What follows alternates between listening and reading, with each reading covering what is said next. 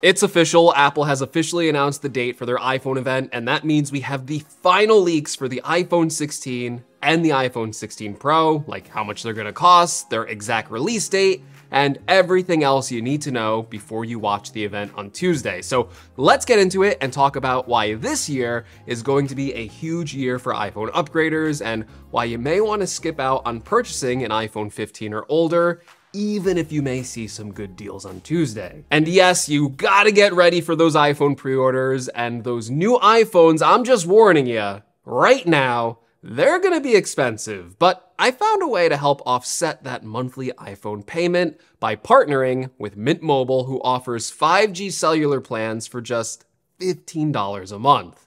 Yeah, if you're on another cellular network, you're probably thinking I just misspoke right now, but no, I am telling you, Yes, your cell phone bill can be lower than your monthly iPhone payment, and it's all on the largest 5G network with unlimited talk and text. And it's using the same fast, reliable network as other providers. And in my experience, that has turned out to be totally true. I've used a lot of cellular networks over the year, and Mint Mobile is not only just as reliable, but oftentimes faster than other cellular carriers. And while so many wireless carriers continue to jack up the price, Mint Mobile has been offering $15 plans for as long as I can remember. In fact, I just came up on my four year anniversary of having my Mint Mobile line, and I had not had the price raised once. Yeah, I'm speaking from my own experience here. Mint Mobile is clearly the best value in the wireless game, and it saved me a lot of money over the years, and it has plans that will fit anyone, including low cost unlimited plans. And if you use my link below,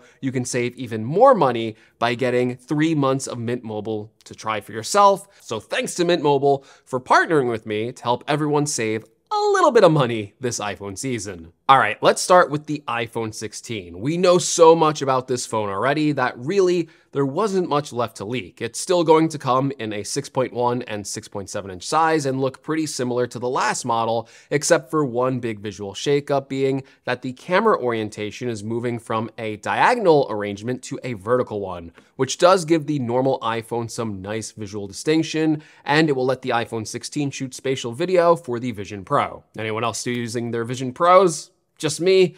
Okay. Of course, there's other visual upgrades this year to the phone that will make it look different. One of those would be the color choices. Here are the official leaked images of the dummy model colors for this year, and you can see they come in much bolder, saturated colors like green, blue, and pink.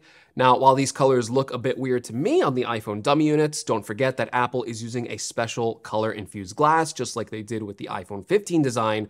So when Apple releases these colors, they will probably pop more and look better than what we are seeing from these current dummy unit leaks. Apple will also be getting rid of the mute switch and replacing it with the action button, just like they did on the 15 Pro last year, and the 16 is also getting a new capture button. This is a button on the side of the iPhone that will be capacitive, meaning it won't physically move, but it will have haptic motors that make it feel like a button press. It will be used for launching the camera app, and you'll be able to quickly take photos and videos with this button, and it may even feature control gestures like sliding your finger along the touch sensitive button to activate zoom controls in the camera app.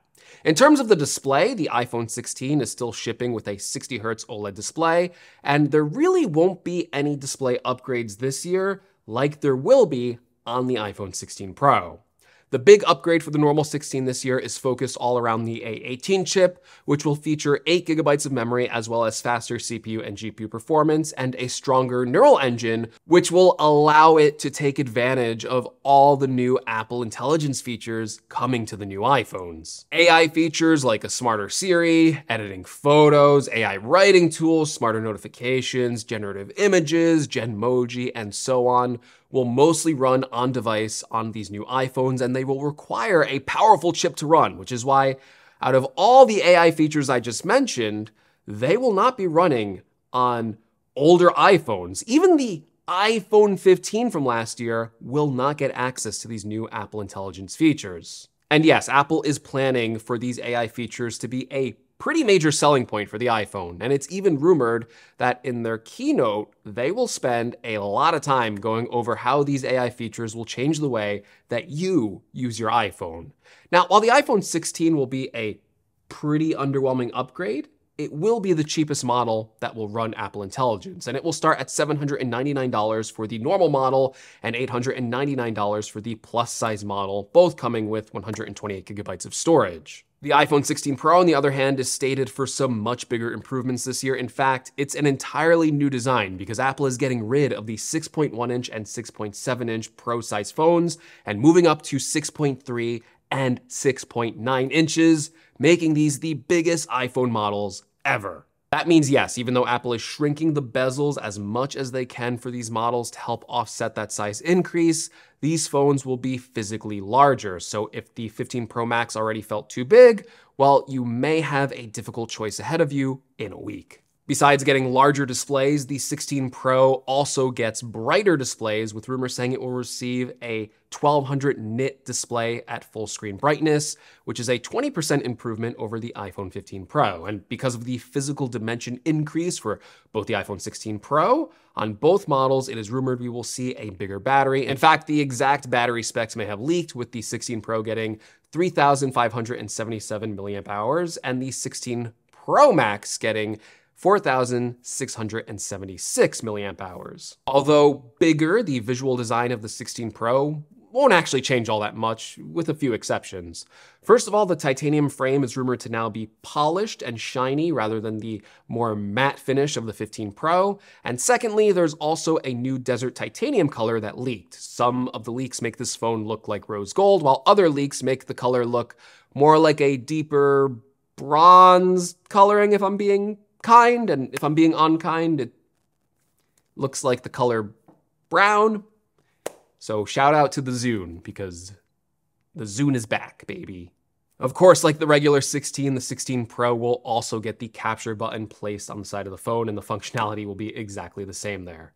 Now, the iPhone 16 Pro will also be getting a big camera upgrade this year in multiple ways. First of all, the 6.3 inch size Pro will be getting the 5x lens, which was exclusive to the Pro Max last year. Additionally, both Pro phones will also be getting a massive upgrade to the ultra wide angle camera, with Apple bumping up the resolution from 12 megapixels to 48 megapixels, which is going to be a massive improvement to that ultra wide angle camera. I cannot wait to see what photos and videos look like on the 16 Pro. Besides the telephoto and the ultra wide improvements, the main camera sensor itself is rumored to be getting an upgrade as well, and that will primarily help it capture even more light, leading to the 16 Pro to take even better low light photos and videos, which is always welcome on these small camera phones. Finally, just like the regular iPhone 16, the big upgrade on the 16 Pro again, it's all about the chip. However, the 16 Pro will even be outdoing the regular 16 by not getting an A18 chip, but rather an A18 Pro chip that could result in even faster CPU performance, faster GPU performance, and maybe even better neural engine performance over the regular 18, which could make it the ultimate iPhone for AI related tasks. Now, I don't need to rehash all the features coming with Apple Intelligence or potentially new features shown off at this event, but again, Apple Intelligence is going to be a major focus for Apple with these new iPhones. In fact, while usually I recommend checking out deals on cheaper iPhones when Apple announces these new models because you can find an older model with a price drop of around like $100, like you could score an iPhone 15 for 699 or an iPhone 14 for 599.